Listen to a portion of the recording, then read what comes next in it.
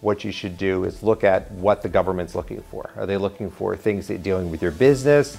Are they looking for things dealing with your personal expenses or the wages that you made? It's very important to understand what they're looking for in this letter.